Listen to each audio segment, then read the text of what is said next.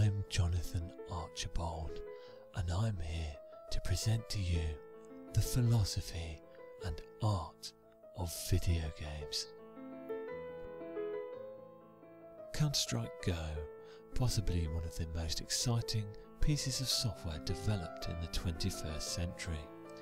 In today's episode, we're going to be discussing spawning, the beginning of a round, and the significance found therein.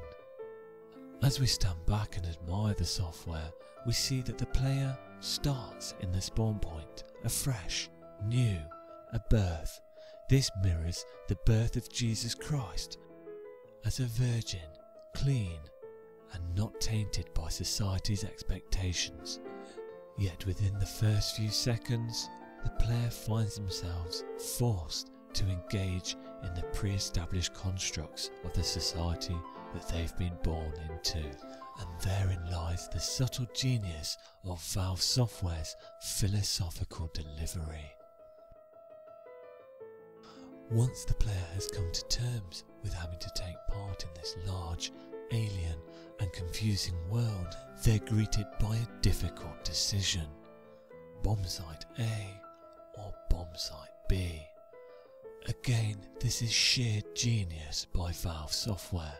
This dichotomy of two choices, both arguably equally irrelevant. But just as in real life, the player has to make a choice, and within the context, this choice can be extremely overwhelming. As the player has no information to make an informed decision, Valve have cleverly encapsulated the true emotion of real world decision making that many people struggle with on a day to day basis.